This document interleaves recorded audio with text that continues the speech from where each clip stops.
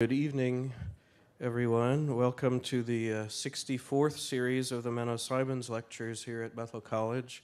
I'm John Thiesen, archivist and co director of libraries here, and currently chair of the committee that puts together the lecture series. The Menno Simons Lecture Series began in 1953 with Roland Bainton as the first lecturer, and it's now about half as old as the college itself. It's funded by an endowment provided by the Kaufman and Yankee families, as you can read in the, the printed brochure. If you look at the li- list of past lectures in the brochure, you can see that there are several um, broad themes that we cycle through over the years Reformation and 16th century studies, theological topics, literary topics. This year, we're returning to the theme of more recent church history. Our speaker, Perry Bush, is professor of history at Bluffton University and also a politician and also a Southern Californian originally. Uh, he graduated from University of California, Berkeley, and from Carnegie Mellon University. His books that you and this audience are most likely to have read would be Two Kingdoms, Two Loyalties, Mennonite Pacifism in Modern America, and uh, Dancing with the Kobzar, Bluffton College and Mennonite Higher Education, and then the most recent one, just from last year, Peace, Progress, and the Professor, the Mennonite History of C. Henry Smith. Tomorrow evening, we'll have a book table and a, a reception after the evening lecture, and uh, at least the C. Henry Smith's, Smith book should be available, maybe the others also. Um, it seems to me that it's somewhat rare to look at Mennonite history through the lens of economics, uh, class, maybe, uh, those kinds of questions. And I think, at least to some extent, in this lecture series that we're starting this evening, we have a chance to hear some of those kinds of questions. Welcome here to Bethel, Perry, and we'll look forward to hearing what you have to tell us this evening.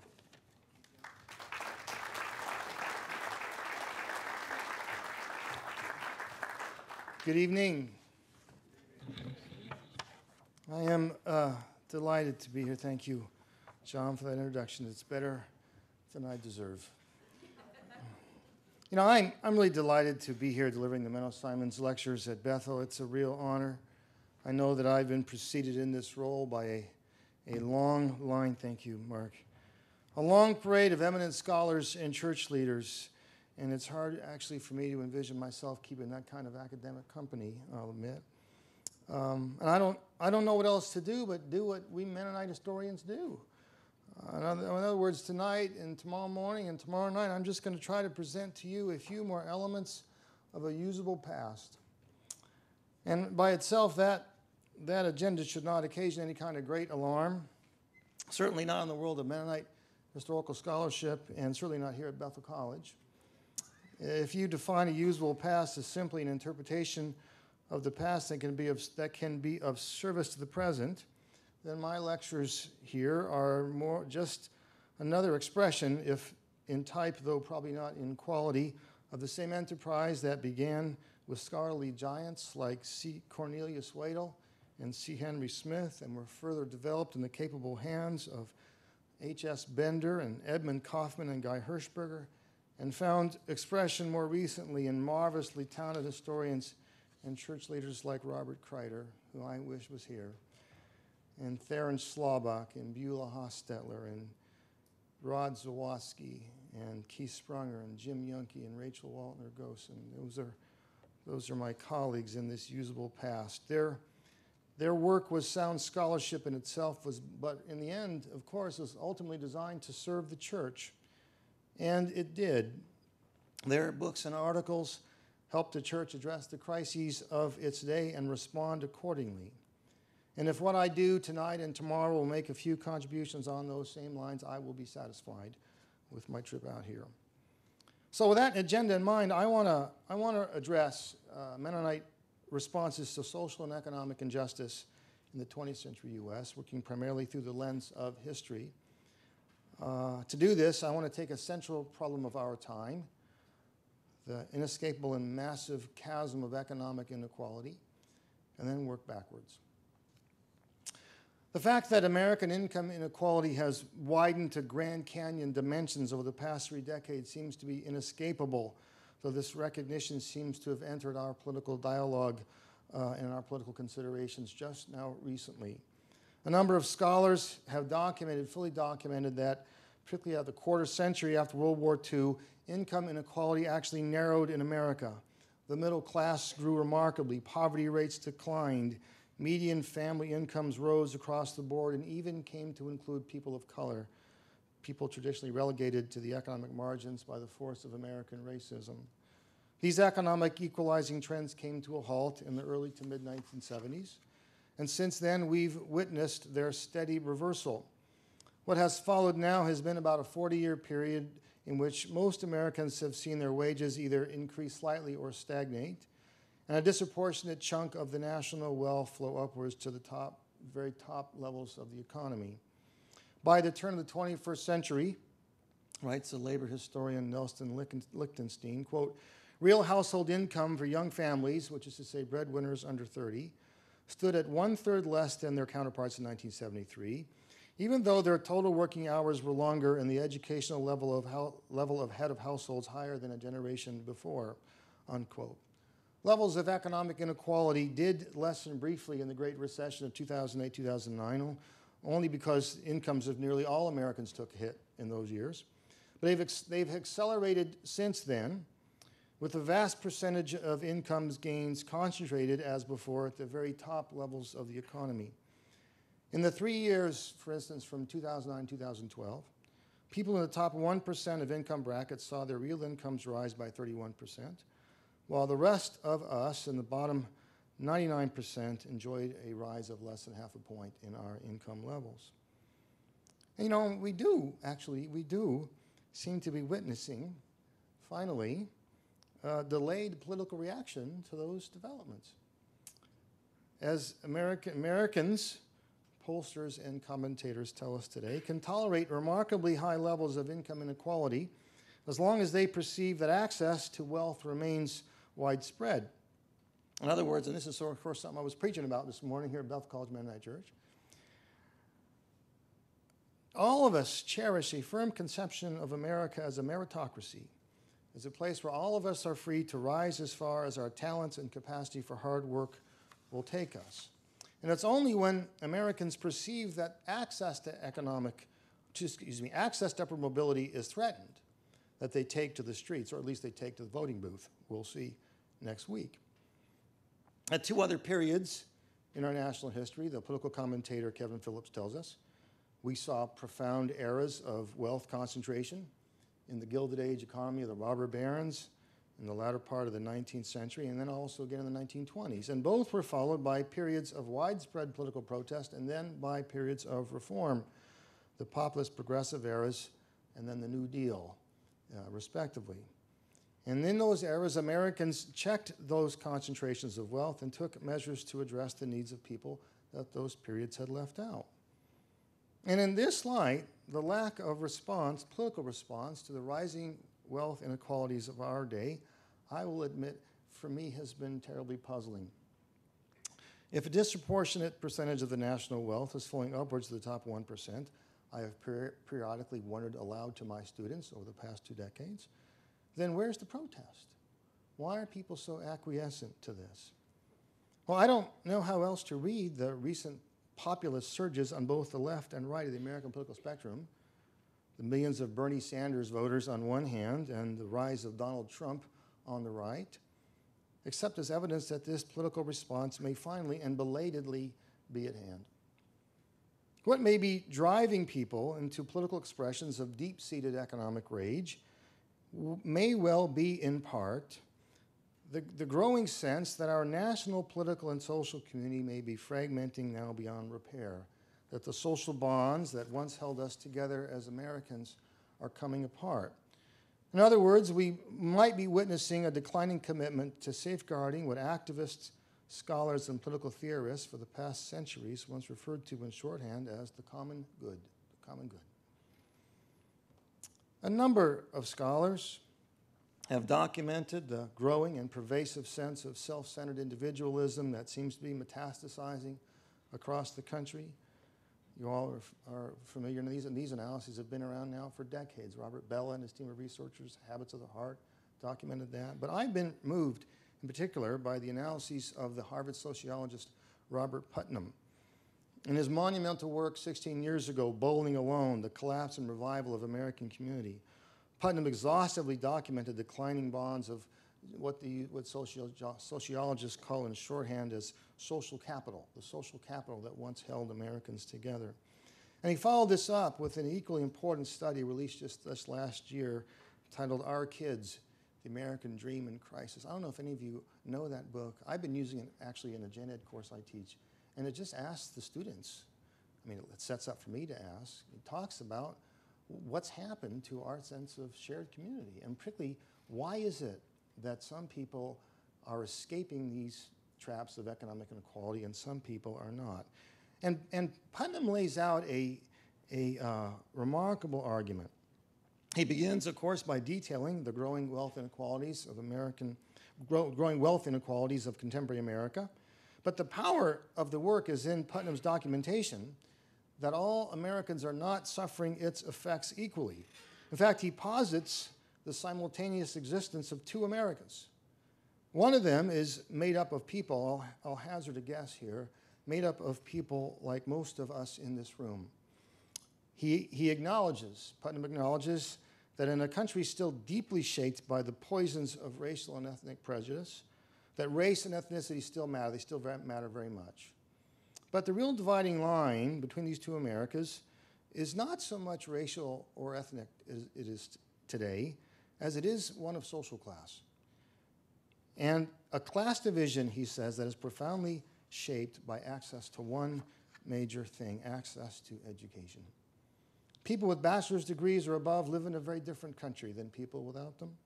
Overwhelmingly, people like us, I'm hazarding a guess, but I suspect most of us would fall into this category People with bachelor's degrees or above live in a very different country. We, we tend to enjoy at least some measure of economic security, especially those of us who are older and not uh, crippled by massive student loan debts. You know, the, the, the, taxpayers of the state of California subsidize my education. And I, don't, I, I, I tell students this, in part because I'm an activist at heart. I tell them what I paid to go to Cal in tuition. I paid $800 a year to go to, to go to Berkeley, you know, in 19 in the late 70s. I graduated in 81. And of course, the taxpayers were subsidizing my education, and they, they quit doing that after Prop 13. By any number of measures of familial stability, relatively low rates of divorce, out of wedlock births, us middle class educated Americans live ordered and productive lives. The economic goods of the country still tend to come our way. By contrast, those people in the second other America, and of course Michael Harrington's magic phrase still works, are very much the opposite. Their lack of access to education has largely kept the doors of economic security locked or severely diminished.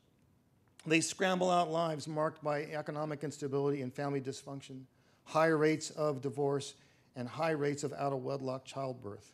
To choose just one statistic, Putnam points out that in the quarter century between 1989 and 2013, the net worth of college educated Americans with children rose 47%, and while those with only a high school education declined by 17%. That's the big gap. And increasingly, here's the key point Putnam argues that the channels of influence or even interaction between these two Americas seems to be diminishing. Fewer people in the middle class educated America live near or even know people from the second, less, less educated other half. The traditional spheres of interaction that used to transcend social class boundaries, common neighborhoods, shared churches, other religious bodies, sports teams, civic groups, those, those spheres of interaction are either declining or operating in ways that diminish cross class collaboration. The ties that used to hold us together the bonds of commitment to a common good seem to be eroding. And again, you know, I, I live in such a, well, you know what I do for a living. It's not like I live in immense, you know, wealth. I'm a Bluffton College professor, Bluffton University professor, but I every so often get these shocking reminders of, of your own privilege, Um, I remember I we, we had to uh, I had to travel, and our one of our carry-on suitcases got lost, and so I had to go to Goodwill and get a new carry-on suitcase. So I found one that would work, and I plopped it on the desk at Goodwill. And I asked this woman at, behind the counter, I said, "You think this would is this too big? Will it work as a carry-on?" And she said, "I don't know. I've never flown." She said, "Yeah. I mean, for me, that just you fly. That's what you do." There's, there's even emerging evidence now that people in the Second America pay a price in terms of how long they can expect to live. Some of you I saw, saw, I expect, that study that came out last fall by the Princeton economists Angus Deaton and Anne Case, documenting the skyrocketing mortality rates among the lower educated, middle class, working class, particularly rural whites. Now, the mortality rates for African Americans and Latino Americans are still higher than, is, than they are for rural whites. But, the, but what these uh, demographers documented is that for African Americans, for Latinos, the, mortality rates are declining, whereas for rural, lower class, lower educated white people, they're in fact going up, drastically going up. And we can point to some, some um, causes why the opioid, opioid epidemic, lung cancer, alcohol consumption, suicide. I mean, it's, these, are, these are life and death decisions. And of course, it's these Americans, initial evidence suggests, who may have been moved politically by the explicit race based resentments articulated by Donald Trump. I mean, I, all we've got so far is journalists working at that, but I, like the rest of you, I'm paying careful attention to American, you know, the reports of American journalists and the initial studies, and that seems to be what's propelling him. He is speaking to that rage. Well, of course, things don't have to be this way, at least not if the past is a guide. When we turn from areas like sociology, economics, and politics to the field of history, it's clear that things haven't always been this way. You know, by, by heart and by training, I am a, I'm a social historian, I'm a narrative historian. I just like to tell good stories. And uh, that's what I do best. So I'm just going to tell a few stories, a few places and times in America when, the, when various of our historical predecessors refused to accept the fragmenting of the ties that held their society together. Some Americans have refused to withdraw into comfortable socioeconomic or religious islands and have moved to reinforce the common good. And one of the most effective and enduring ways they did this was through politics. It's not the only way to preserve the common good, but it is a major way. Now, I, I got to talk briefly about where this comes from and, and ways it's been shaped. The common good is an old, old idea in America. In fact, it goes way back in the history of kind of Western Europe. We could read bread riots or food riots. George Rudé and other historians have talked about food riots as a way of, of maintaining the common good. When, when, a, when an entrepreneur gathers up all the bread from a rural European community to sell overseas or to ship elsewhere, oftentimes what would happen is there'd be a food riot, and even the word itself, riot, was a, was a, was a smear. What people would do, I mean, the, the guy, the idea was this person in doing that was violating an older community standard that said you put the good of the community over your own individual striving. These are features of Western urban landscapes that go back hundreds of years. We saw them in our own country, and certainly in colonial America, we saw bread riots happening in the Confederacy as late as 1862. The idea was you couldn't sell your bread, your wheat meal, your corn meal, at whatever the market will bear. You have an obligation to sell that to the community at a price the poor could afford. And so oftentimes the village elders, the town elders set the price of that wheat meal. And so what people would do is they would grab the bread, they would disable the rudder of the ship, they would take the stuff, they wouldn't just dump it or steal it, they would in fact sell it at what was called the just price, a just price, right? Was and oftentimes urban officials would look the other way because this person had violated an older community standard in which you put the good of the community over individual striving. This is a long-standing pattern in the West. And the, the, uh, the American project had only barely gotten underway before some of our founders began to reshape it. Take, for instance, the reasoning of James Madison in Federalist number 10. All right? The Federalist Papers, surely you remember, were, were arguments, actually newspaper columns, uh, put out by uh, proponents of a, of a charter of a new government they were posing. They're going to they're to put a new a char- they're going to charter a new government, and of course we call that government the U.S. Constitution. So in, in the Federalist Papers, in Federalist Number 10, Madison set out another argument on behalf of this new proposed Constitution by, by addressing a major issue that they had to figure out. And he called this the mischiefs of faction. The mischiefs of faction. Today, we wouldn't use this terminology, what Madison called factions, we call self interest. So, what Madison addressed in Federalist Number 10 was really one of the major questions in contemporary U.S. politics. What do we do about the question? What do we do, about the issue of self interest in politics? Now, listen to Madison. He says, quote, there are two ways of curing the mischiefs of faction, he said. The one by removing its causes, the other by controlling its effects, unquote. And both methods, he said, are faulty. The only way to control the effects of self interest, the effects of factions, he said, would be somehow to destroy the natural diversity in American society, to give, quote, to every citizen the same opinions, the same passions, and the same interests, unquote. And you couldn't do that. I mean, he was trying to put the country together, 13 squabbling little independent countries going from the backwoods of Massachusetts to the rice swamps of, of Georgia coast, right? And you couldn't give them all the same interests. Trying to cure the causes of faction, he says, was even worse. If we were trying to remove the causes of faction, he said, we would do so by, quote, I love this quote. My students read Fellows number 10 in the U.S. History Surveys every semester. We would do so by destroying the liberty which is essential to its existence. It could never more truly be said than of the first remedy that it was worse than the disease. This is great stuff. Liberty is to faction what air is to fire, an ailment without which it instantly expires. But it could not be less folly to abolish liberty, which is essential to political life because it nourishes faction, than it would be, why, than it would be to wish the annihilation of air. So, what are we to do? Madison only had one solution. If we're going to free, be a free people, he said, we're going to have liberty, let's just admit that we're going to have factions. We're going to have self interest in politics. And of course, then it followed, and he develops this argument in Federalist number 10 and others of the arguments in those newspaper columns. The only solution to this problem is to create a large central government capable of adjudicating among the clash of conflicting groups.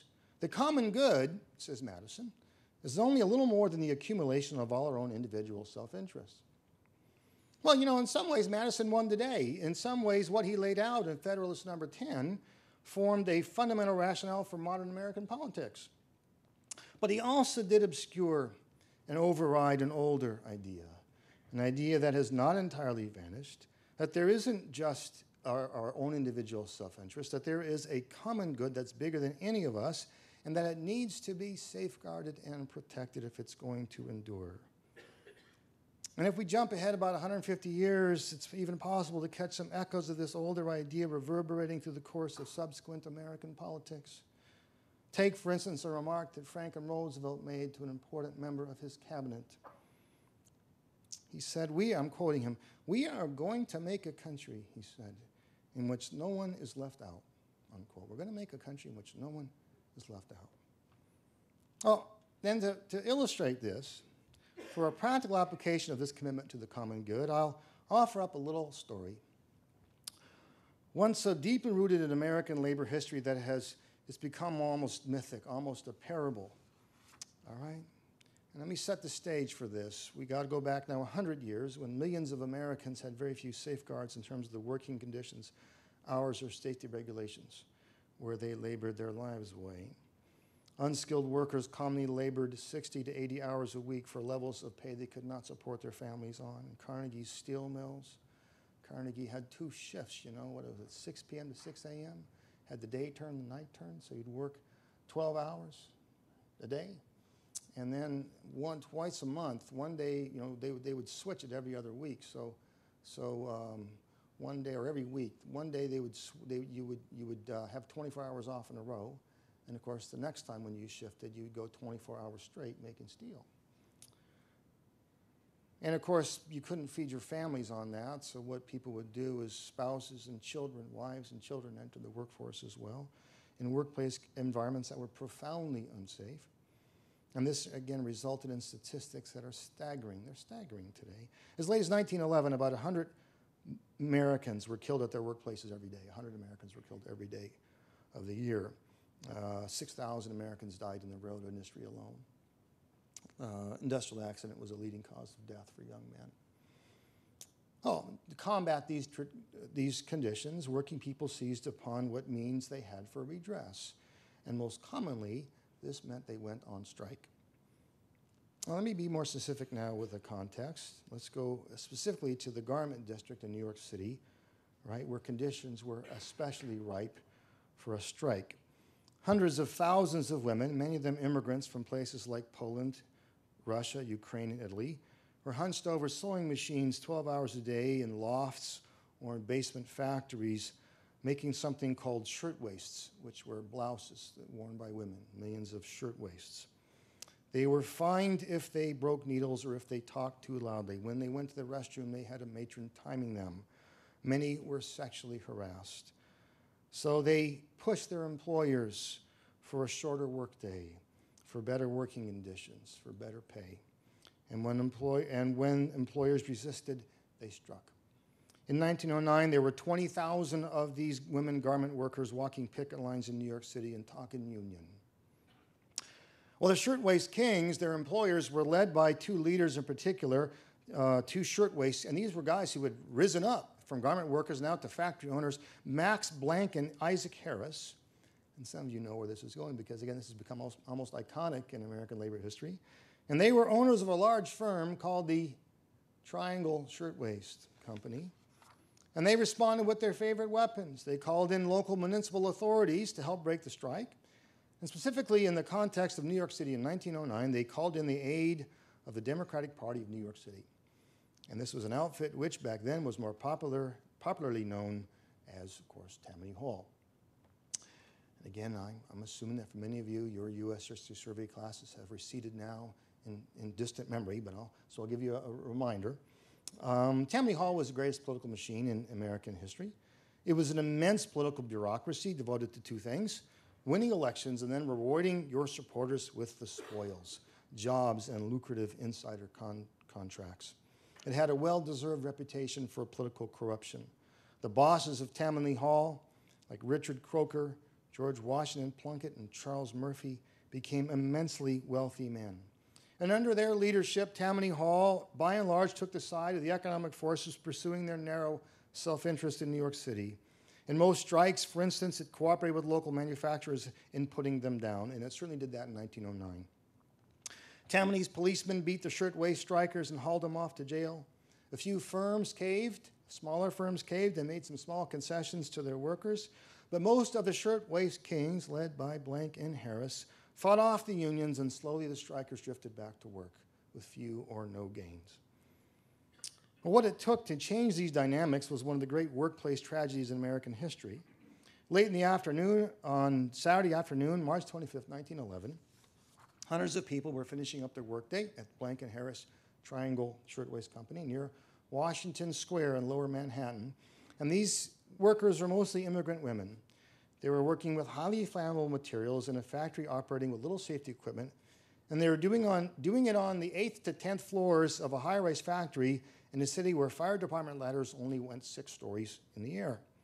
And late in the day, as these tired women rushed to finish up a long work week, and as the sidewalks outside were buzzing with thousands of people already enjoying the weekend, a small fire broke out in a waste can. And within minutes, the eighth floor was ablaze and the flames were shooting upwards. Panicked people rushed for the fire escape doors, but Blanck and Harris kept them locked to avoid worker pilfering of supplies. So they rushed for the one remaining freight elevator and they rushed for the roof. So many people pushed onto the fire escape, and it, that only went about, uh, uh, didn't, didn't go all the way ground, went, went within two stories of the ground. They rushed for the fire escape that it broke away from the building and plunged dozens of people to their deaths. Within 10 minutes, 146 people were burned alive in view of the full view of thousands of horrified onlookers there in Washington Square on a Saturday afternoon in the spring. Well, one of those onlookers was a 30 year old social worker very cultured, elite young woman, graduate from Mount Holyoke, deeply compassionate Christian, social gospeler, 30 year old social worker. She's having tea nearby with a friend on a Saturday afternoon. And she was already, by the way, a fierce reformer who had just begun a, a, a crash course on fire safety as another one of the long line of progressive reforms she was pushing. Her name was Frances Perkins. And when she heard the fire bells on the screen, she rushed over to Washington Square and she stood there in shocked horror watching flaming bodies fall 10 stories to the sidewalk in front of her.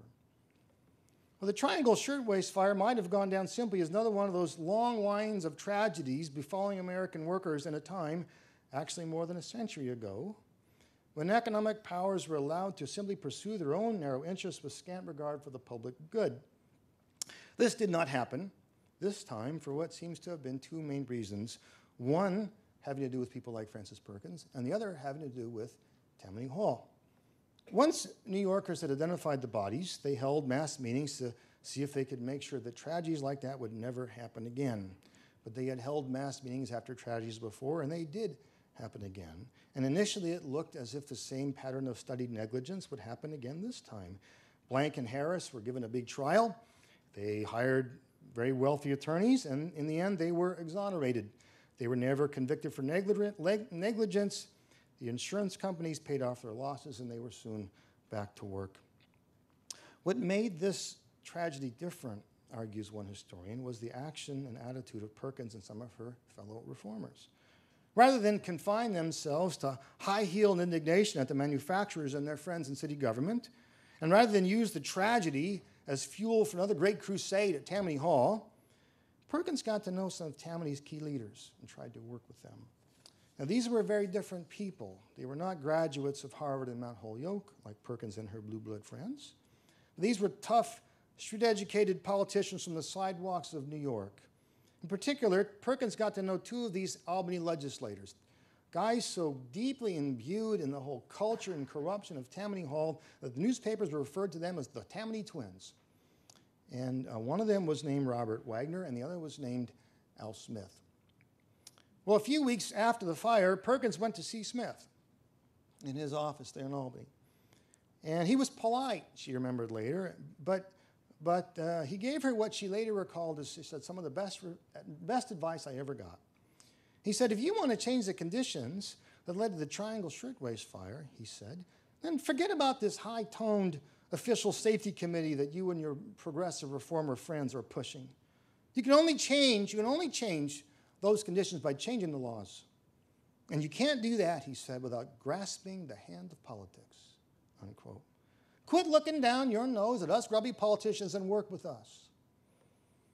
Well, that was a major reason while great, why great good instead of numbing tragedy came out of the Triangle Shirtwaist Fire. And the other reason that it did historians tell us, is that Tammany Hall embraced the cause of reform. And they can't tell us why. Uh, Tammany Hall boss Charlie Murphy was, was a man so taciturn they called him Silent Charlie. He left very few written records. But we do know that he instructed the state's Democratic governor, John Dix, to create an official and factory, factory investigating commission of the legislature, and he put Wagner and Smith in charge of it. The commission then hired Perkins and many of her reformers' friends as staffers and in the next few years, the Factory Investigation Commission revolutionized working conditions in the state of New York. They held hearings in 45 cities across the state.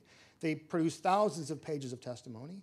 Perkins led Albany legislators to one factory where 300 workers had access to one single toilet, and to another factory where children as young as six years old labored next to their mothers. How long is the workday here? The commissioners asked. Until the kids pass out from exhaustion, came the reply. In the single year of 1912, Wagner and Smith pushed 25 separate workplace safety laws through the legislature. And the reform push percolated in New York City for the next 20 years, culminating when Smith himself became governor of New York, and his aggressive advocacy on behalf of workplace safety became a model for other states. You, you grasp the hand of politics. That's how you get that done. Now, if you recognize, and some of you know where this is going, you recognize names like Perkins and, and Smith and Wagner, then you have a, a hunch about where the story goes next.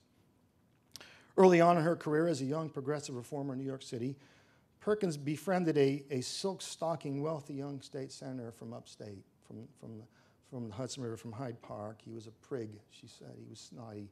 He mostly uh, uh, ran around attacking Tammany Hall, playing for headlines. And he hadn't shown any interest in reform or in working people. And his name, of course, you know this name Franklin Roosevelt.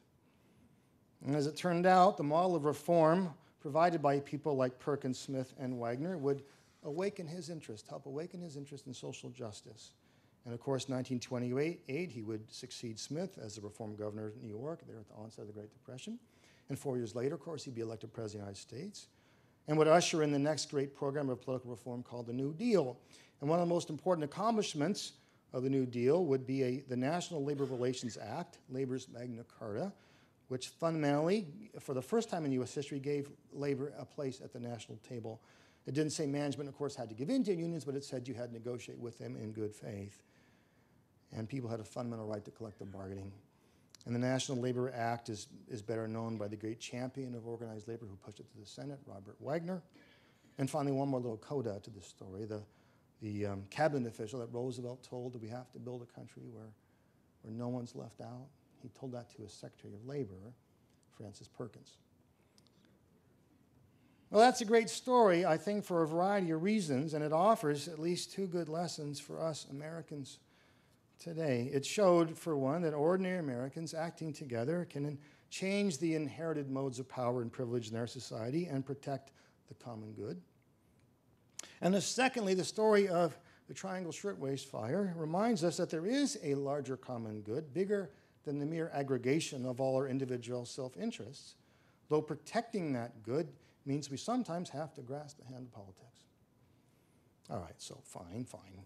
And you're sitting here, this is a nice little history lesson. We paid this guy this way to come here and tell us history stories. And I'm here delivering the Menno Simons lectures. I'm here in one of the great intellectual hotbeds of Mennonites in the Southern Plains at Bethel College.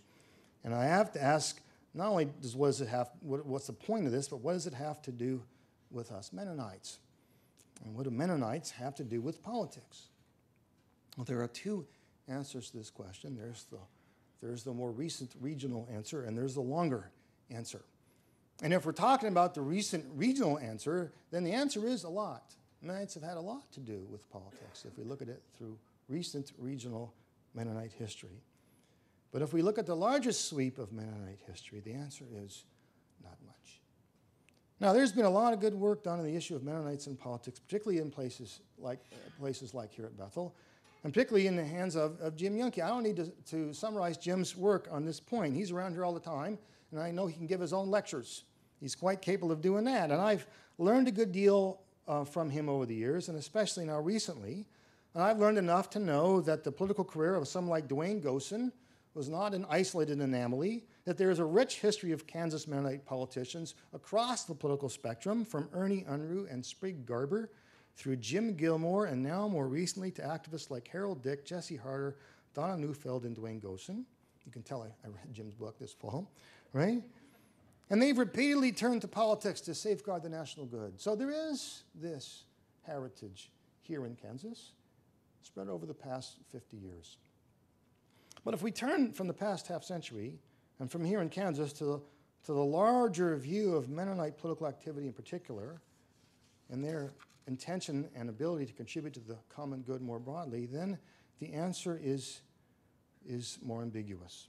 So I'll run through a quick little survey of Mennonites in politics over the long view, which means, of course, I'll, I'll wave here at least briefly at the Anabaptists. And there's a good deal of historical ambiguity about how socially and politically withdrawn they really were. On the one hand, there's evidence suggesting that for reasons that were both theological and pragmatic, like the fact, for instance, that the authoritarian states of their day were putting them to death in large numbers, the Anabaptists kept their distance from both their states and their societies. One very influential scholar famously declared in 1944, for example, that, quote, since the Christian may in no circumstance participate in any conduct in the existing social order which is contrary to the spirit and teaching of Christ, he must consequently withdraw from the worldly system and create a Christian social order within the fellowship of the church brotherhood. Now, you're not seeing my footnotes, but the source itself is telling, and some of you could recognize it. That's Harold Bender in his famous Anabaptist vision statement. On the other hand, as Gerald Mast and others have explored, Anabaptists tended, says Gerald, to accord a more decisive social and political witness rather than to quietism. In new research that actually uh, Mark Jantzen and I heard at Grable last spring, in last June, in this um, wonderful conference we attended, Hans Peter Jecker has recently uncovered a number of Anabaptist surgeons, midwives, and barbers whose Christian commitments led them to minister to their sick neighbors and play positive and important roles in their communities, even at the risk of their lives. At any rate, a traditional Anabaptist antipathy towards politics began to erode rather quickly.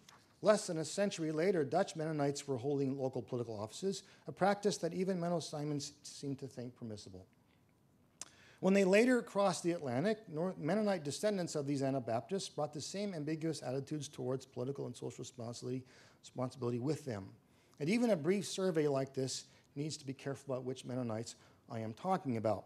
For simplicity's sake, I'll just utilize the scheme that, that people like Jim Juhnke and Leo Driedger and J. Howard Kauffman have put forward, a, the, in which they di- differentiate between, they said it's a bipolar mosaic, differentiating between a Swiss South German stream of Mennonites in the 17th century Pennsylvania and later a Dutch North German stream that brought a large flood of immigrants in the 1870s from Mennonite colonies in Ukraine uh, to, to the U.S. Southern Plains. I think here I'm talking about many of your ancestors, right? Those folks. And these two different streams brought with them different attitudes towards political and social engagement. Because of the relative autonomy they had enjoyed from the Russian government in Ukraine, the Dutch Russians were much more comfortable with political activity. The Mennonite Commonwealth in Ukraine even sent their own politicians to represent them in the Russian Duma. And when they arrived here in the United States in the 1870s, your ancestors, of course, did this with strong institutional proclivities, a greater pattern of involvement with outside society, and a much more pronounced in group orientation based on a shared folk culture and a low German dialect. And not surprisingly, their descendants proved deft institution builders. Bethel College is a good example. And their periodic forays into Kansas politics built from that historical trajectory. But it's with this first migration stream, the Swiss, Swiss South German stream, where the political ambiguity produced the most tension. On the one hand, the residue of political and social engagement stemming back, stemming back to Anabaptist days had not entirely vanished. Mennonites in Pennsylvania, in conjunction with Quaker neighbors, seem to have been involved in electoral politics at least up through the American Revolution. On the other hand, these Mennonites arrived in 18th century North America with deep patterns of isolation that was both sociocultural and also theological. It's among these Mennonites that John Redekop observed where quote, non participation in govern- government became the official norm at least until the 19th century. And this pattern seems to have held sway into the next century as well. Exceptions may have been made for individual Mennonites and especially some leaders, but most official Mennonite conference bodies, Redekop pointed out, continued to hold official statements against explicit political involvement through the early 20th century. And of course, we have to further then ask why. The answer seems to be two pronged. Mennonite wariness of explicit political involvement emanated both from their traditional socio-cultural isolation and also, of course, from their two kingdom theology that came expressed in their traditional stance of non resistance. And I think we all know what non resistance meant. You take your bearings from Romans 13, where Paul declares that God has established a state to keep order in the wicked world. And most Christian groups have developed some kind of two kingdom theology. It's not a Mennonite project, but most envision the two realms of church and state positively, with the Christian enjoined to operate fully in both and with very few grounds of conflict between them. Mennonites would have envisioned these postures differently, shaped by an historical legacy in which tyrannical states had put their ancestors to death in large numbers. Traditional Mennonite non resistance built from a wide gap expressed, expressed both in theology and mapped out in actual practice between these two realms of church and state. And as long as the state did not ask them to violate their higher obligation to God's kingdom, non resistance required Mennonites to obey its directives quite submissively. Most of what the state did was none of their business. So they did not serve as magistrates, police officers, politicians, lawyers, or members of labor unions. Traditionally, Mennonites were, were reluctant to prescribe any course of conduct to the state. Many showed a reluctance even to vote. And look, folks, look, I know I'm generalizing broadly here. And uh, given what I just said a few moments ago, these strictures of traditional non resistance were not watertight and were often disobeyed in actual practice. They began to break down in the early 20th century, and they were held onto tightest in the Swiss South German stream, of course, as opposed to the Dutch Russian one. And having said that, it's also important to recognize that traditional non resistance was also maintained by GC Mennonites at least through the mid 20th century. The GC Mennonite leader Henry P. Krehbiel, for example, had served a term in the Kansas legislature and clearly had no aversion to electoral politics. But as he worked with other pacifists in the 1920s and 1930s, he rejected their approaches as too political and called instead for personal transformation as the way to change society. You know, I spent a lot of time at one point reading, uh, reading GC records through the Vietnam War.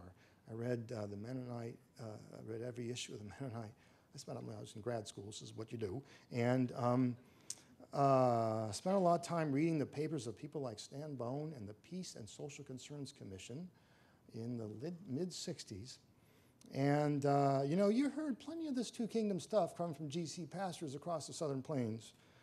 I'll just give you one example. The, the, the Peace and Social Concerns Committee uh, asked congregations to express their dissent uh, against the Vietnam War, right? The right Congress and dissent from the war. And this is what one pastor wrote We do not feel it to be a function of the church to dictate to the United States what course of action they should take. We're not going to tell a state what to do. Well, one of the reasons that traditional non resistance held on as long as it did, my example here notwithstanding, and that Mennonite adherence to it began to crumble when it did, had to do with the relative Mennonite distance from society. Unvarnished two kingdom theology made sense when Mennonites could keep these two realms of church and state far apart. And for centuries, they were able to do this through all these boundary maintenance mechanisms a separate German language and culture, particularly here in the Southern Plains, and Mennonite physical location on isolated farms and a devotion to rural agriculture, and a theology of nonconformity that branded outside cultural intrusions as worldly and sinful. But as I'll explore with the Bethel students tomorrow morning, as the pace of the Mennonite acculturation intensified, as it did in the first decades of the 20th century, those barriers began to disintegrate. And thus it was, by the World War II years, and that's not a coincidence given how the war itself served as a great acculturating agent, and that a key Mennonite church leader, and that's also no coincidence, produced a seminal theological historical statement that reinforced traditional non-resistance, but also adapted it to fit new circumstances. And this here, of course, I have to, we have to deal with Guy Hershberger's classic framing of non-resistance, war, peace, and non-resistance. And in it, Hershberger wrestled essentially with the material I'm wrestling with in these lectures Mennonite answers to the problems of injustice and the extent to which they accepted a sense of social responsibility. Look, what Hershberger was a, a, a, a remarkably productive reader and writer, and it's not easy to summarize him. Uh, the task has been, been rendered slightly easier by Theron Schlabach's magnificent, he wrote a magnificent biography of Guy Hershberger. I mean, it's a masterpiece. Theron is such, he's such a giant of scholarship. And it's hard for me to disagree with Theron Schlabach. God help me, right? He is, uh, he, uh, the, the, the subtlety and nuance of Hershberger's thought that Dr. Schlabach explored in that text is remarkable. He's a, he is a giant of scholarship. And he made clear what any careful reading of Hershberger makes clear that Hershberger himself was a complex, careful, nuanced thinker. He was someone deeply concerned about the problems of injustice, someone determined to nudge his church into activism on issues, on those kinds of issues, despite effective and determined opposition from his church's fundamentalist wing. Well, so it was clear to Hershberger what the Mennonites could not do. They could not, he said, and this is 1944, they could not participate in politics. He built from a ringing affirmation of two kingdom theology. The outlook of the New Testament is entirely apolitical, he taught. I'm quoting him, and so were the early Anabaptists. The scriptures, he told Mennonites, have, quote, nothing to say about how affairs of state should be conducted, unquote. Nor could Mennonites conscientiously engage in the struggle against injustice through nonviolent action, a prospect that Hershberger then regarded with horror. He spent long pages detailing how nonviolent coercion was still coercion, and thus the non resistant Christian should have nothing to do. With it. We can't do nonviolence, he said, even after he embraced King and brought him to Goshen and uh, looked with such power on the civil rights movement and did his best to push Mennonites into activism on the civil rights struggle. I mean, a remarkably prophetic, courageous way. He still would not admit he changed his mind. Non resistant Christians, he said, should simply do justice and not demand. That's his famous formulation. Just do justice. Mennonites were certainly involved in the social problems of the day, he said, but would approach them, quote, with a different technique through regeneration and discipleship rather than, rather than through education and reformation. The mission of non resistant Christians is therefore not a political one, he argued. Instead, it was a curative one. Hershberger located the Mennonite answer to injustice in the formation of socially engaged alternative communities that would simply flesh out God's way of love in a conflict ridden world. In a later phrase that he came to cherish, he said Mennonites would achieve justice simply by serving as the phrase was colonies of heaven. We'd be colonies of heaven. And then, in a decade of persistent activism with allies like the GC sociologist and Bethel Prof. Winfield Fretz, he would work to flesh out that vision, preaching, preaching a reinforcement of Mennonite rural life. Look, it was, it was a powerful and persuasive vision that seemed to set the parameters of Mennonite thinking on these issues for a generation or more. Writers in the Mennonite Encyclopedia argued that Hershberger's war, peace, and non-resistance function as, quote, a foundational peace theology for all the major Mennonite bodies in North America, unquote. Leo Driedger, Don Kraybill, Paul Toews affirmed it as a, quote, conceptual triumph. Schlabach has summarized how Hershberger's arguments came to assume a kind of a paradigmatic influence on Mennonite thought on his own day and ours. He actually singled me out as a premier voice in this chorus of scholarly affirmation. Well, two decades later, I'm not so sure. I still very much agree with Theron and others as the centrality of Hershberger's arguments in mid 20th century Mennonite thinking about matters of justice and social responsibility. I would insist today, as I stressed 20 years ago and will outline to the Bethel students tomorrow, the signal importance, that little prophetic qualifier that Hershberger tucked into his arguments that in the end undermined his entire dualistic two kingdom understandings. Now, I don't think it's necessary here for me to spend three lectures outlining a trend that a number of scholars, including myself, have outlined in detail the Mennonite insistence in recent decades in intertwining their calls to peacemaking with the demands for justice. The titles of some recently well regarded texts are instructive in themselves Mennonite Peacemaking from Quietism to Activism, or Ervin Stutzman's book, From Non Resistance to Justice. The word justice, starting to some degree with Hershberger, and partly because of him, has entered the Mennonite vocabulary since the 60s. But in these lectures, I just have a few more modest aims. All I want to do was lay out alternative voices that challenged this consensus, even as it was being fully formed by MC leaders like Hershberger and Bender in the middle decades of the 20th century. And my argument tonight and tomorrow is just this Mennonites, from a variety of perspectives in these years, and one ally in a sister tradition, did not accept these two kingdom understandings uncritically. They began speaking to Mennonite social and political involvement decades before Mennonites more fully grasped the justice imperative the 1960s and beyond. And with the rest of my time tonight, I'll just give you one such voice pushing this alternative perspective. I'm going to bring in uh, C. Henry Smith. There has been a new book out about Smith that I found useful. And uh, I, just, I just have time for the briefest biographical introductions. Smith was born in 1875 to an Amish family in central Illinois, right about the time when the Amish themselves were beginning to split into the Old Order Amish and a more cultured group called the Amish Mennonites. Uh, his father, John Smith, became a bishop in the local Amish Mennonite Conference and led the way in adapting innovations like Sunday schools, revivalism, and education.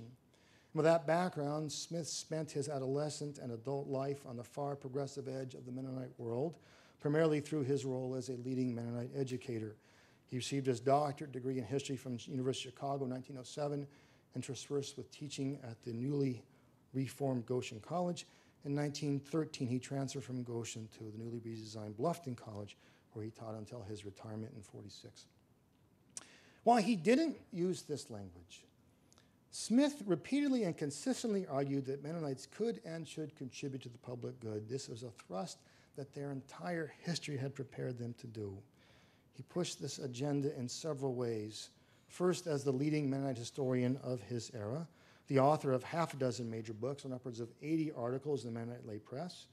Smith laid out a usable past for Mennonites that he designed to speak to the problems of their day. Mennonites, he said, were the inheritors of foundational principles of Western civilization, passed down to them from Anabaptist ancestors like freedom of conscience, church state separation, and a basic commitment to Christian peacemaking. And it was their job to share those commitments with larger society. That message permeated the entire corpus of his work from his earliest writings until his death in 1948. Um, I'm going to skip a paragraph here because I'm cognizant of the time, but it's, it's, it's interlaced throughout his work. That was his agenda. And look, I, I am eager to acknowledge that it had flaws. You know, it's funny, you know, you read that book, it was so, you read his work, and it's so laced with ironies. You know, what are the ironies? That um, both the Mennonite progressives and their fundamentalist opposition were both positioning themselves as the great arbiters of normative Mennonitism, right? And accusing the other side of borrowing. And they were doing this, both of them, on the basis of arguments they themselves had borrowed from the outside, right? So Smith was borrowing uncritically from mainstream American progressivism. And his adversaries, people who became his adversaries, were also borrowing from an outside current called, uh, I don't know what else to call it, but Protestant fundamentalism. And both of those currents enriched the Mennonite world, but both of them were borrowing, right? I know we can't imagine that today. People borrowing from the outside in order to talk about their problems, but that's what Mennonites did 80 years ago. And, um, and look, the, the borrowing was problematic. Smith adopted way too much. He, he adopted, I mean, mainstream American progressivism was, was, profoundly racist, and Smith certainly reflected that in some of his early writing. And he did not shed that racism and that civil religion until middle age when he began writing about the quote unchristian nature of racism. He actually uh, toured Germany with Harold Bender in 1936 after the Mennonite World Conference and was struck dumb by the level of anti-Semitism he saw operating in rural Germany. Um, and so, but he, you know, he mapped out this deal between Mennonites and larger society that in exchange for full inclusion, he said, Mennonites could usher the American mainstream to a greater acceptance of these foundational principles that they themselves had pioneered. And that was shattered by the First World War. And the wartime persecutions visited onto his people by, by American progressives clearly struck a, a, a, worked a deep transition in Smith's thought. Not long in the 1920s, he dropped his faith in the goodwill of a beneficent American state. He began to regard American accultura- uh, Mennonite acculturation in a much more critical eye and he was soon warning his fellow Mennonites of the, quote, disintegrating influence of the changing social and economic order. But even so, I mean, you have to acknowledge the flaws, and it's a good thing to reflect on too much uncritical borrowing. But even so, his creation of a usable past worked marvelous effects in both inward and outward directions. Inwardly, it profoundly advanced the Mennonite historical renaissance then underway in the interwar years. Harold Bender was not its only father. Smith visited Anabaptist historical sites in Europe. He serialized his adventures in the Mennonite. He published extensively in the lay press on Anabaptist Mennonite history, and he worked in GC circles to expand on Mennonite historical consciousness. But he aimed his scholarship at a different end than Bender. Rather than remaining apart from other Americans and creating what Paul Toews summarized as, quote, a distinctive Christian social order, Smith in, instead called Mennonites to engage fellow Americans with their ideas. Rather than creating an alternative model for others to follow, Smith urged his fellow Mennonites to share with their society the values they had been gifted with from their history, in which it so desperately needed. And perhaps it's easy for us today to lose sight of the potentialities of those kind of contributions. Those of us ingrained in Mennonite church today, you know, we are quite aware of its problems.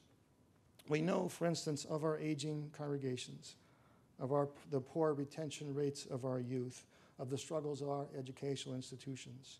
We may be locked now today into another great era of Mennonite schism as congregation after congregation, conference after conference detaches itself from the larger fellowship and makes a mockery of our poor Mennonite, our latest efforts at union.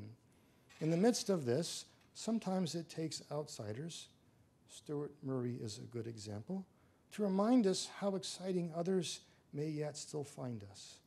Once we let the walls down and share our ideas, there might continue to be a dynamism to our various Anabaptist visions that persists, sometimes in spite of ourselves. And one of the reasons others may still find us exciting may go back to people like Smith and the role he created for his church, the role of the Mennonite public intellectual, someone deeply engaged with the ideas and political movements of his time. Again, uh, this worked in words in an outward direction. He published 80 some articles in the Mennonite Lay Press on all sorts of stuff. Thomas Malthus, demographic projections, the germ theory of disease, Marxist economic determinism. At the same time, he, he showed the public activism that could emanate out of that kind of intellectual engagement. He founded not one but two local banks. He emerged into a widespread and widely respected civic leader and pillar of Main Street in, in Bluffton. He served a term in the village council. He had served a term in the local school board. He served as a delegate to the 1932 uh, Ohio State Democratic Party convention in Columbus. He traveled widely across Europe, the Pacific, and Mexico. He sat in seminars with major world and national leaders in the mid 1920s with the presidents of Germany and Czechoslovakia. He picnicked with Stanley Baldwin in his backyard at number 10 Downing Street. In the mid 1930s, he met with the leading lights of the New Deal, including one session with Franklin Roosevelt. And through it all, he modeled another capacity of the public intellectual, the capacity to change one's mind. This was seen not only in his, again, belated rejection of racism, but also in his political shifts. By the 1940s, 1940, he clearly had broken with the New Deal. He was campaigning for, Woodrow, uh, for, for Wendell Willkie for president. And of course, he didn't do this alone. The Mennonite landscape of the time harbored a number, a number of bright intellectuals. There was an active collection here at Bethel with people like Edmund Kaufman and Emmett Harshbarger, who certainly pushed the, pushed the cutting edge of Mennonite social and political engagement in GC circles in the Southern Plains. Harshbarger and Kaufman, and later Winfield Fretz, were, were Smith's students. And um, he kept in close touch with them. And they certainly regarded their old professor as their mentor and a model. Further east of the, on the Mississippi, one thinks of Bender, Hershberger, and Edward Yoder at Goshen, of Orie Miller at Lancaster. But the forces of MC fundamentalism at the time severely limited their public associations with anyone outside of conservative circles, or even much public expression of conservative ideas. Smith was not bound by those kinds of strictures. He was an intensely public intellectual. You know what? I, I worked through 60 boxes of his papers, and one of the most interesting boxes I found was he, what he'd do is he'd take an eight and a half by 11 piece of paper, and he would, and he would cut it in half, and he would insert in his typewriter, and he would pound out speech outlines, bullet points. And you know, you don't understand what he's referring to until you break the code, and you, you see what these little what these little words meant, and then you you tally them up, and what you found, what I found was an incredibly busy and active public speaker. I found about 110 outlines, speech outlines, between the early 30s and through the end of the war. That's eight to 10 a year. And he was speaking, of course, to Mennonite groups, Sunday schools and church conventions and youth conventions and, and uh, ministerial associations. And he crisscrossed the Mennonite landscape from eastern Ohio to Iowa, treating audiences to a variety of themes. He was focused on Mennonite history, but he was really, you know, he's pushing, he's pushing the Mennonite seminary. He said, without a Mennonite seminary, we're doomed, we're doomed. What especially struck me was how he was speaking to non Mennonite groups, civic groups, high school commencements, ministerial associations. He even had for two years on the eve of World War II a, a, a radio program. And in those, it wasn't, it wasn't bullet point outlines, it was whole transcripts of what he said on the radio. I mean, it was a whole thing typed out. So he's talking about Russian foreign policy, Japan policy in the Far East. He, um, uh, November of 1941, he said the Japan attack, the Japanese attack is clearly coming. I'll just give you one example. He, he was, at, he was this, is, this is November of 39. He was asked to uh, speak to the State Baptist Youth Convention in Lima. And um, uh, he's a little you know, local professor and lead discussions among the State Baptist High School youth meeting in Lima, our county seat. And um, he said, you know, you got the outline. And he says, okay, I know you're a Baptist and we're Anabaptists, but we all come from the same people. We come from Menno Simons. And so here's what Menno Simons said about war, right? And he, and he, and he, and he held up the absolutist objectives of World War I as the great heroes of our time. That's what he told the State Baptist youth in 1939. So I need to draw this to a close. we have become a more decent and just society through a great many ways, from people dissenting publicly from wrong, uh, for example, and by people doing the works of mercy.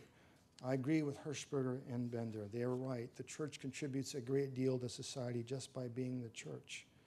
But not only that, even as people like Bender and Hershberger put together what many seemed, came to regard as the definitive Mennonite answer to the problem of injustice, there were others in the church mapping out a different answer. There were alternative models available then about how Mennonites could contribute to the common good. And these models raise good questions for us today. Not just about what this Mennonite silence and political disengagement uh, cost, right? But what it's not, not, not just what it, what it did for Mennonites, but what it cost. Look, those that disengagement and that silence, those walls had benefits. And I talked about those, those benefits at, at, at Bethel College Mennonite Church this morning. But we also have to acknowledge what that disengagement cost Mennonites and what it cost others. And these are matters I'll be exploring tomorrow with the students and then tomorrow night here with you. But I'm going to leave time now for questions and comments. Thank you very much.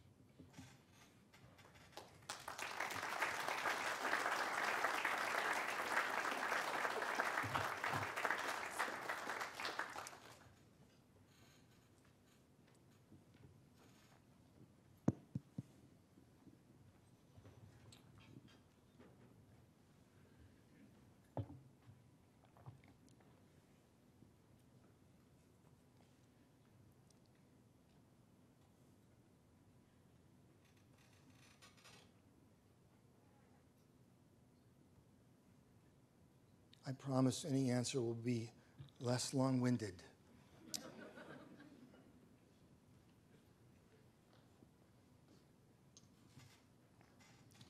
Who was uh, Smith's uh, main mentor in uh, uh before before the war? In, in the, who taught him progressive idealism well, Jimmy, from outside the Mennonite? He learned it in grad school. You know, he did his doctorate in University of Chicago under E. Franklin Jameson, who was one of the great barons of the American Historical Association. Jameson, of course, founded the American Historical Association, founded the American Historical Review. And I spent a lot of time in the book talking about the great, you know, what, what uh, Charles Beard called the noble dream, that noble dream of objectivity. And Smith adopted wholesale this great dream of empiricism, right, in which you simply uh, accumulate the facts and um, uh, tell what the facts express to you. And that was a, an ideal that he took to heart. It was the reigning scholarly model in history at the turn of the century, and it wasn't until the 30s and 40s when, when, when historians across the board began to move to more relativistic understandings, and he himself slightly shifted. But he also, as part of that, clearly embraced the entire um, um, progressive project. One of his professors was a guy named C. Charles Merriam, who was uh, um, a political scientist at Chicago and later on became reform candidate for mayor of New York. He had campaigned for Seth Low in New York City. And um, uh, Merriam particularly seemed a model for Smith, the kind of uh, epitome of the engaged social scientist. You know, so when Smith later got involved in um, the, the, uh, the Prohibition Crusade at Goshen, um, do a little digging. I spent some time with the Goshen Daily News on microfilm in 1910, 1911, 1912, and discovered that there was a profoundly powerful local option campaign there in Elkhart County. And Smith and Byers were key figures in it. Smith led the dry forces, right? But, but he was such an interesting social scientist that I couldn't tell what side he was on because you'd come across reams of stuff, details on the drink bill and the cost of alcohol and the, and the liquor industry. And it wasn't until I found in one of the folders a little flyer by the basically the Dry Force Executive Committee, and the head of the Dry Force Executive Committee was C.H. Smith. Well, he was borrowing from people like uh, C. Charles Merriam, right? And um, and by the way, C. Charles Merriam, when he when he um, when he ran, no, excuse me, his name was Charles Edward Merriam. That's how I got that wrong. When he ran for um, when he ran for mayor of New York, I read, I read a biography of Merriam. And when he ran for mayor of New York, he called himself C. Charles Merriam, C. C. Edward Merriam, excuse me. And his campaign manager said, drop the C. It makes you look too much like a professor. All right. So, so there, you know, C, C stands for nothing, right? It was a little thing that this Amish teenager named Henry Smith attached to his name because he thought it made him, well, it's just what you did. It was like a Gilded Age tattoo. And he could never get rid of it, right? And so um, later on in life, when he, when he travels, um, officials want to know what does the C stand for, and he can't explain what it stands for. It stood for nothing, right? So there may have been, even as a teenager, when he calls himself C, I'm on a tangent here, and I promise my answer would be less long-winded, but, but um, it may have been, it may have had some air of professorial erudition, you know, even as an Amish teenager. Um, when, when, when bureaucrats wouldn't accept that it, it stood for nothing, they, they had named him. So um, officials at University of Illinois, where he studied, called him, christened him Charles. And U.S. State Department officials, it says it on his passport, he was Cecil. So every time he traveled across you know, Europe, he had to sign his name, Cecil Henry Smith. Yes, Keith. Uh, coming to your two examples, uh, would you say that Hershberger's message really resonated across the Mennonite spectrum, or mainly in the old Mennonites? Oh, or and uh, Smith, did he resonate across the spectrum, or was he mostly speaking to General Conference Mennonites? I'm wondering whether they were well, sort of compartmentalized in the, you know, with Mennonite brethren, and, and we have those out here, and you haven't talked about those yet, but anyhow, I'm just wondering how widely were these intellectuals and their message getting across to people outside their own circle? Well, Bender and Horsch corresponded at various points about producing another Mennonite history tome to, to get so they could supplant Smith's, right? Get rid of Smith's. His book, you know, basically what he did was rewrite the same book like four times. You know, his dissertation became a 1920s book, the 1920s book became a 1941 book, and there are huge, huge chunks of those books that are exactly the same. He just cut and pasted, right? But and amplified and made it bigger. Um, and the MC Mennonites never did produce a, a, a, different text. They weren't happy with Smith's text, but they never did get rid of it. And apparently it was used. Uh, someone wrote Smith. Who was it? John Umble? Wrote Smith in the 40s that Bender was using Smith's 1941 book in his classes. And, um, you know, you did that work. Keith, I, your stuff was so helpful to me. You interviewed, you interview Faith and Life in the 1980s, and it was still in print, and it was especially being used in Canada. And for many Mennonites where I, well, I suspect many of you, right? And many Bluffton Mennonites, for some of you, that would have been the work by which you would have learned Mennonite history. To what degree did it did it um, permeate uh, MC circles?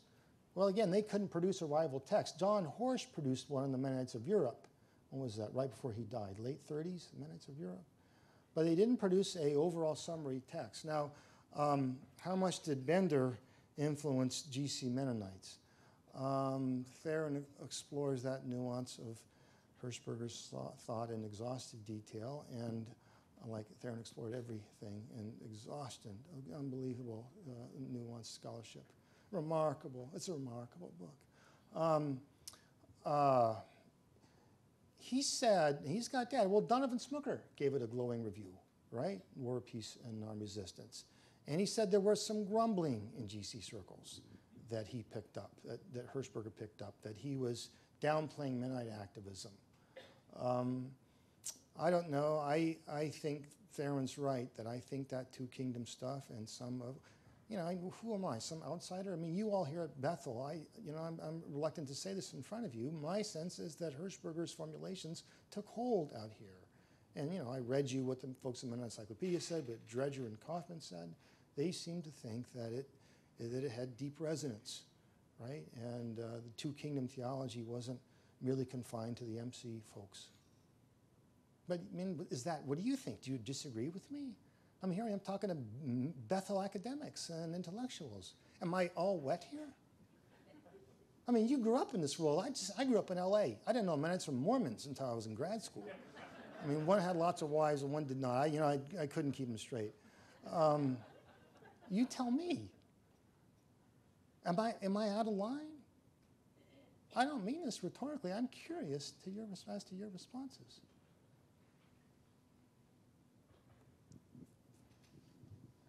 I- I'm, I don't have a, a good answer to the overall question of influence, but uh, during, I found in my own uh, family, my uncle Walt and my father Bill.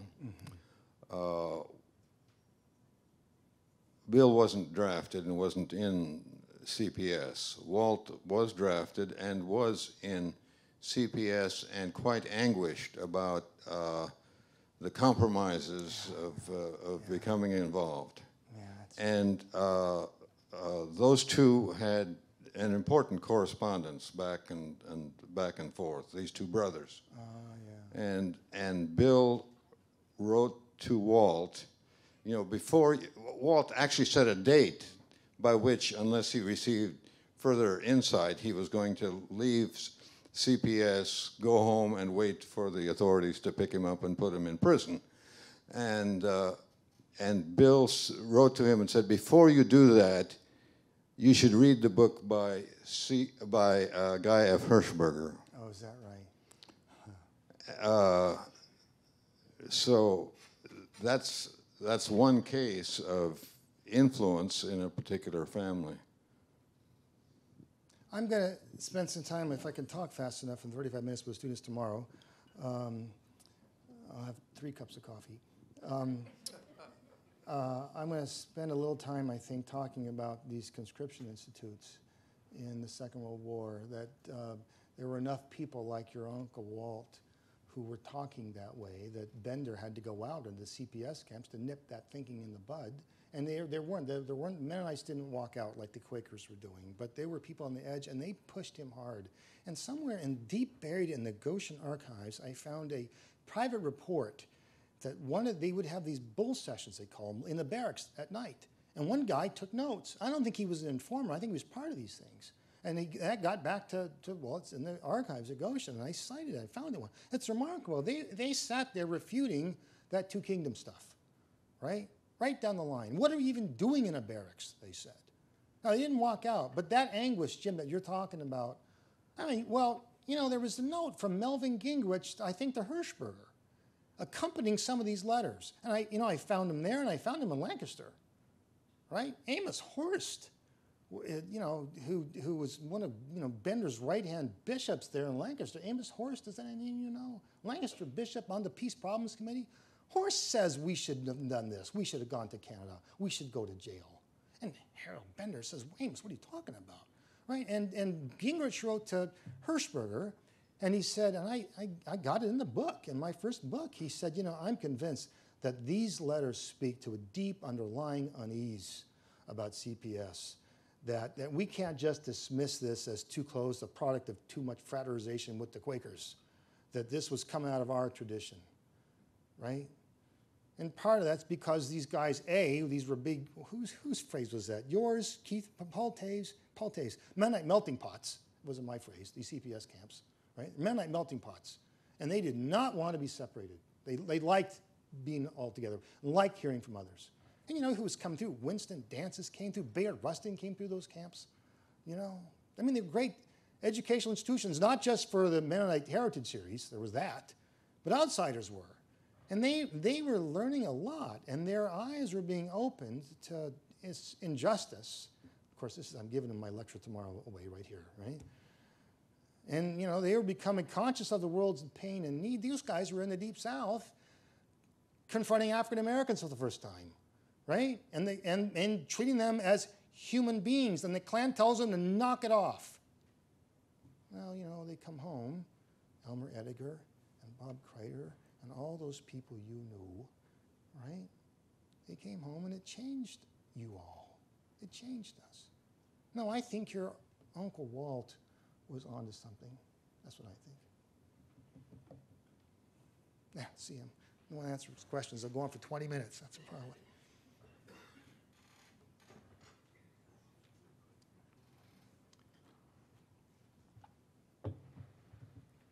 Well, thank you all for coming this evening, and you're welcome to come tomorrow evening. And also, if you're free during the morning at 11 o'clock for Bethel College Convocation, both here in the same room. And thank you, Perry, for an interesting uh, talk and answering of questions and telling stories. And we'll see you again tomorrow.